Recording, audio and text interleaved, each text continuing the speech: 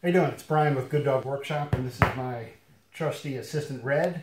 Um, I'm going to show you how to uh, how to roughhouse with your dog, what's an appropriate level to do it, and uh, and the benefits of it. Um, a lot of people have asked me this question: Should I roughhouse with my dog? What's too rough? Is he allowed to put his teeth on me? A lot of that's personal preference, but uh, it, for the most part, it is important to roughhouse with your dog to be physical with him because they are physical with each other.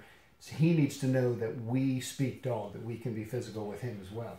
So Red's Red's already here looking for for affection. He likes being physical, and I know that he's sensitive on his feet, and I'll get him going. So I can grab his feet, and you see his teeth going at me, trying to reach my hands already, and I'm fine with that. If you're if you're not comfortable with the dog's teeth on your hands, then put some gloves on and do this because it's important that he knows that his teeth can never change your mind because otherwise he may think, ah, I have the upper hand, I can use my teeth to control my person.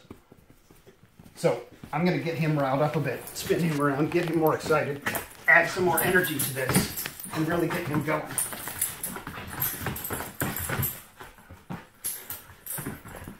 You can move, move your head down. It's not that you're you're lower than him on the uh, on the scale. You're just trying to trying to speak dog and incite him to play. And I like getting my head I like getting my head down in here and really showing him that I'm not bothered by him by him by him being rough and physical. And then when I want to stop,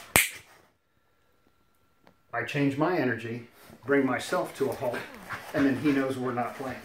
And I'm not responding to him if he thinks we're still going to try. So, thanks for listening. I appreciate you watching. Take care.